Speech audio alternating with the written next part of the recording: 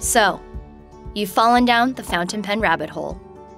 You've tried some beginner and intermediate fountain pens, and you've come to a crossroads. Is it time to invest in a fountain pen with a gold nib? You look at the price tag and think, there's no way. There's no way! In this video, we'll go over why these fountain pens are so expensive and highlight some of our favorites for when you're ready to make the leap or if you want to expand your gold nib collection. Be sure to subscribe to our channel for more content like this. Let's get right into it. Gold nib characteristics. The look, aka the materials. If you look closely at a gold nib, you'll see a 14, 18, or 21 carat imprint. What do these numbers mean exactly? I'll tell you. Pure gold, classified as 24 carats, is too soft and malleable to be used for fountain pen nibs.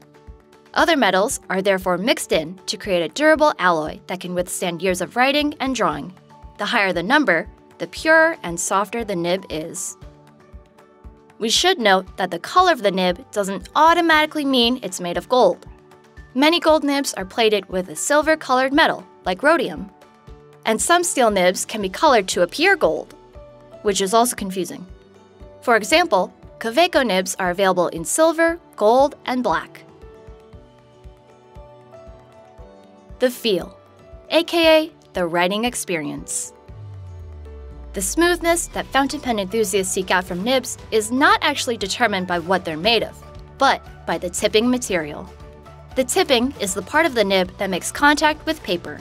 Both steel and gold nibs are almost always tipped with an alloy of other harder metals like iridium.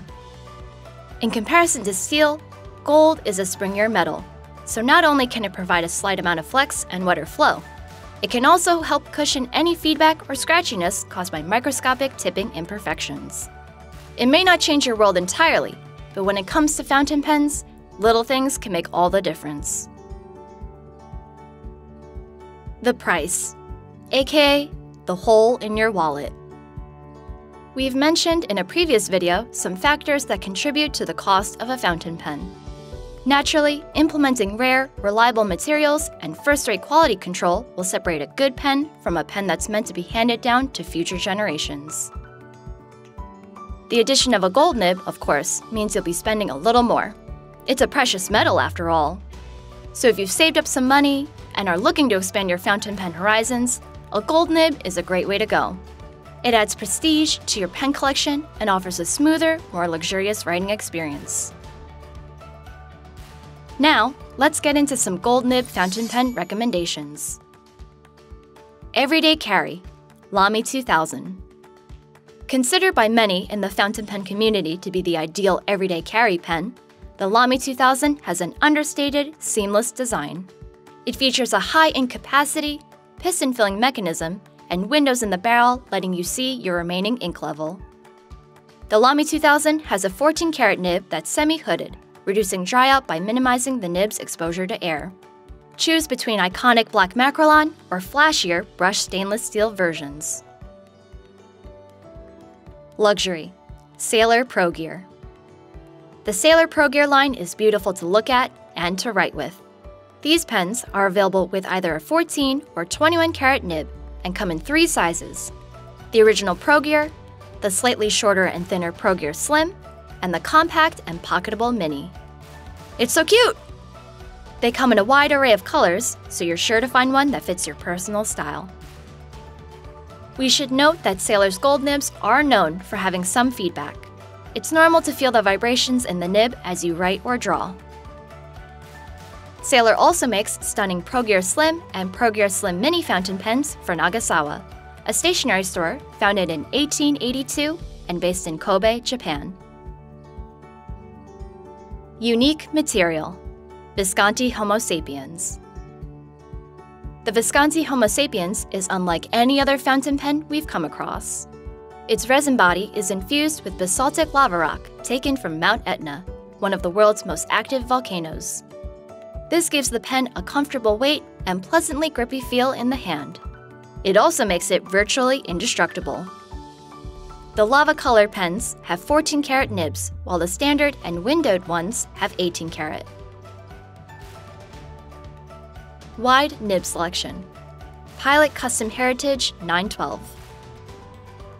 The Custom 912 looks a bit plain, but don't judge a pen by its body. The 912 offers a whopping 15 different 14 karat nib options. If you appreciate calligraphy or adding flair to your writing, check out the Falcon nib, which is especially beloved for its ability to flex. Additionally, Gold Flex nibs can be found on Pilot's Elabo and Falcon fountain pens. Before moving on, we have to quickly mention the Pilot Vanishing Point. It's one of only a handful of retractable fountain pens and comes with an 18 karat nib. Won't dry out. Platinum 3776 Century Fountain Pen. If you're into fountain pens, you may already be familiar with the Platinum Preppy and its slip and seal cap. The 3776 Century utilizes the same mechanism, keeping the 14 karat nib from drying out for over a year without use. This classic looking pen is far from boring, with transparent body finishes and metal accents. Limited edition 3776 Century pens, such as the shape of a heart, go the extra mile. Two of the gold hearts stamped out of the nibs to make their breather holes are placed in the cap's finial, along with loose, scattered crystals. Do you have a gold nib fountain pen already? Or is one currently on your wish list? Let us know in the comments below. You can find all of the products linked in the description and at jetpens.com, the place for pen and stationery lovers. Thanks for watching. So, you've fallen down the fountain pen rabbit hole and you go, Why? Why did this happen to me? Why, wallet? How could you do this to me? And the wallet turns back at you and goes, Why did you do this to me? this is when I tell you you don't need to buy a gold nib pen. But you do. You don't, but you do.